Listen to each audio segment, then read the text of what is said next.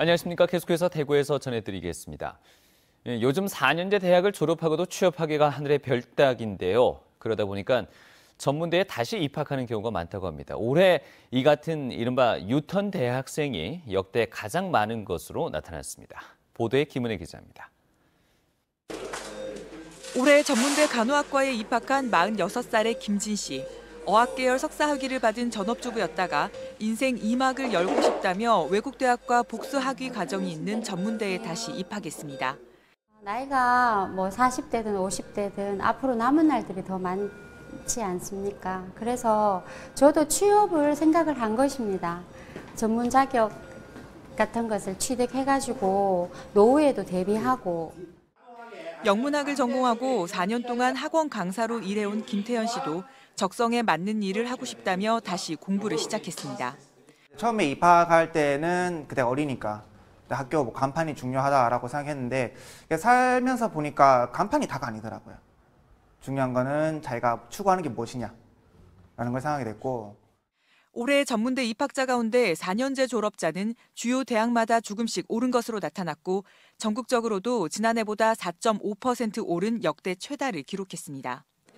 전통적인 인기 분야인 보건 의료뿐 아니라 자격증이나 면허증이 있는 분야로 확대되고 있습니다. 이과 자체가 전국에서 별로 없고 특성화된 과다 보니까 이쪽이 워낙에 특성화되다 보니까 수요도 수, 일단 인원 자체도 적고 요구하는 곳은 많고 유턴 대학생이 늘면서 전문 대학들도 이들을 잡기 위한 프로그램 발굴에 적극 나서고 있습니다. 유턴하시는 분들은 이제 아무래도 해외 나가시는 걸 굉장히 선호해서 해외 어학연수를 사주 가는 프로그램들이 많이 있습니다. 그래서 말레이시아는 의료 통역, 그다음에 일본, 그다음에 미국, 어, 영국 그렇게 가고 있고요. 심각한 취업난에 전문 기술 교육이 주목받으면서 대졸자의 전문대 유턴이 계속 늘어나고 있습니다. MBC 뉴스 김은혜입니다. 오는 12일 치러지는 재보궐선거의 사전투표가 대구시의원 보궐선거가 실시되는 수성 제3선거구 6개 동사무소와 달서구 의원 보궐선거가 실시되는 2개 동사무소에서 현재 진행되고 있습니다. 경북은 국회의원 재선거 사전투표소 58곳, 구미시의원과 7곳 군의원 보궐선거 사전투표소 6곳 등 64곳에서 실시되고 있습니다. 사전투표는 내일까지 이틀 동안 오전 6시부터 오후 6시까지 진행됩니다.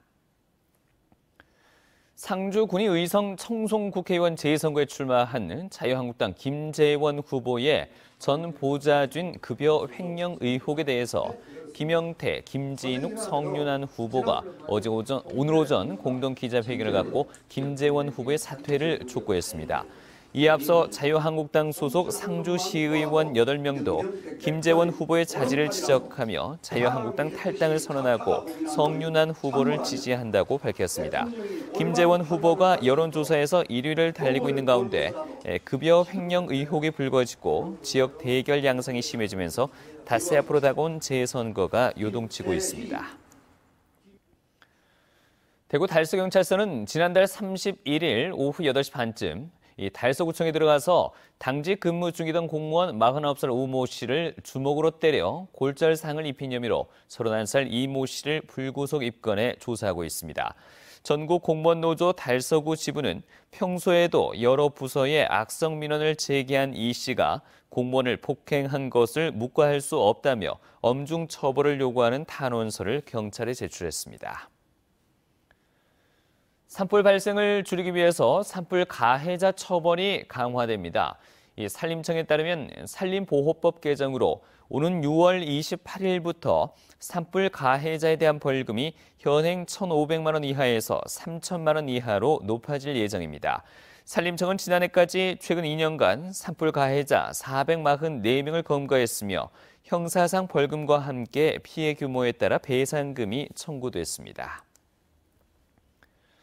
경북소방본부는 이달부터 연말까지 초등학교 학생들의 수학여행에 119 대원이 동행하기로 했습니다.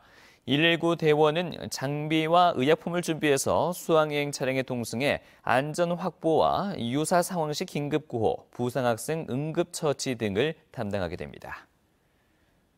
지금까지 대구였습니다.